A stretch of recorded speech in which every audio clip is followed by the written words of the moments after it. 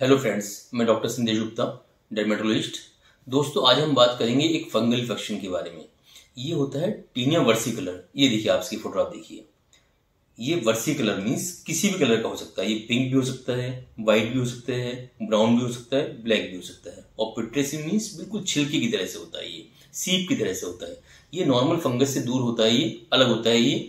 जैसे टीनिया क्लोरिस हम कहते हैं जब ये हमारे थाइज में आता है। टीनिया कॉर्पोरिस कहते हैं जब पूरी बॉडी में आता है, टीनिया पीडिस कहते हैं जब ये हमारे पैरों में आता है, टीनिया मैनम मीन्स हाथों में आता है। लेकिन ये टीनिया वर्सिकुलर बिल्कुल अलग है। इसमें इचिंग नहीं होती है। इसमें केवल कलर का अंतर आता है और ये मोस्टली उन जगहों पर पाया जाता है जहाँ पर हमारे नमी होती है। जैसे शोल्डर के ऊपर पाया जा सकता है, बैक के ऊपर पाया जा सकता है, एक्जिला में पा सकते हैं इसको हम, चेस्ट के ऊपर मिल सकता है, बच्चों में फेस के ऊपर मिल सकता है ये। और जो लोग बीमार होते हैं, जो इम्यूनो कम्प्रोमाइज होते हैं या जिनको शुगर के पेशेंट होते हैं, या जो बेड रिडन पेशेंट होते हैं, उनके बॉडी में ये एक्सटेंसिव पाया जा सकता है। तो ये फंगस है दोस्तों। एक कंडीशन होती है विटिलिगो उससे भी हम इसको कन्फ्यूज़ कर सकते हैं। विटिलिगो में लेकिन जो सफ़ेद वाले पैचेज होते हैं, वो अलग तरह के होते हैं सिमेट्रिकल होते हैं। इसको डर्मेटोलॉजिस्ट आराम से पहचान सकते हैं। तो अब अब बात करेंगे इसके बारे में हम कि इसकी डायग्नोसिस कैसे बनाते हैं। कोई भी डॉक्टर जो इसमें, स्किन में काम कर चुके हैं, वो इसकी डायग्नोसिस आराम से बना सकते हैं। बस इसको विटिलिगो से हमें डिफ्रेंशिएट करना होता है और कुछ ऐसी कंडीशन होती हैं, जैसे पिट्रेसिस रोजिया पिट्रेसिस रूबरा और कुछ कंडीशन जो कि जिसमें स्किन का कलर हमारा वाइट हो जाता है, उससे इसको डिफ्रेंशिएट करना होता है।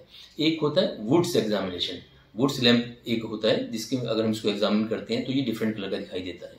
या फिर एक होता है फंगल स्क्रैपिंग कुछ डॉक्टर्स जो हैं इसके फंगस की स्क्रैपिंग करते हैं।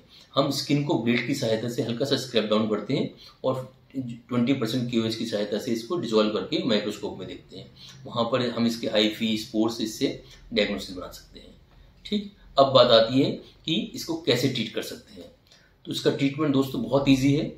जो फंगस को मारना, वो बड़ा आसान काम होता है। वो एक से दो महीने के अंदर फंगस को पूरी तरह से मार सकते हैं। लेकिन इसके कलर को वापस आने में स्किन को देखो दोस्तों, अपना कलर बनाने के लिए टाइम चाहिए होता है और वो दो से चार महीने लगते हैं। तो फंगस इन्फेक्शन जो है हमारा बहुत जल्दी ठीक हो सकता है, लेकिन जो उसकी वाइटनेस होती है, कलर आता है, वो वापस जाने में टाइम लगता है। थोड़ा सा इसमें पेशेंस रखना होता है, बस आपको ट्रीटमेंट करना है एक महीने या दो महीने के लिए। जब फंगल इन्फेक्शन ये इन्फेक्शन वाला पार्ट ठीक हो जाए तो हम इसके ट्रीटमेंट को बंद कर देंगे और जो कलर होता है, वो नॉर्मली धीमे धीमे वापस आ सकता है। अब इसकी प्रिवेंशन क्या होती है, रोकथाम क्या कर सकते हैं। तो इसके लिए हमें नमी से बचना चाहिए। जैसे ने बताया कि ये नमी वाले पार्ट में आता है। शुगर वाले पेशेंट जल्दी आ सकता है, या जो इम्यूनो कम्प्रोमाइज पेशेंट होते हैं, उनमें जल्दी आ सकता है।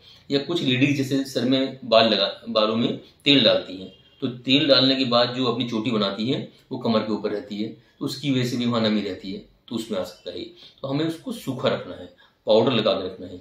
जिन लोगों को एक्सेसिव स्वेटिंग होती है या बहुत स्वेट आता है तो उनमें इसके चांसेस बहुत ज़्यादा जाते हैं। तो एक्सेसिव स्वेटिंग वाले जो पेशेंट्स होते हैं, उनको पाउडर लगा के रखना चाहिए और बार बार इसको ड्राई कर देना चाहिए। तो शूज़ में, कई लोगों के जैसे शूज़ में आती है प्रॉब्लम जो है, जिनको स्वेटिंग आती है तो वहाँ पर भी आ सकता है ये। तो उन जगहों पर खास जो होती है, जहाँ स्वेटिंग ज़्यादा होती है तो वहाँ पर हमें फंगस को रोकने के लिए एंटी फंगल पाउडर का इस्तेमाल करना चाहिए। और दूसरी चीज़ होती है, कुछ दवाइयाँ खाने की और कुछ दवाइयाँ लगाने की। अगर हम ये पूरा ट्रीटमेंट प्रॉपरली करते हैं एक से दो महीने में तो ये कम्प्लीटली आसानी से ठीक हो सकता है। तो दोस्तों, ये थी टीना वर्सिकल के बारे में सलाह। इसके अलावा भी आप कोई भी प्रॉब्लम आती है स्किन की तो आप हमारे दिए नंबर पर कॉल कर सकते हैं या क्लिनिक पे आके हमसे आप मिल सकते हैं। Thank you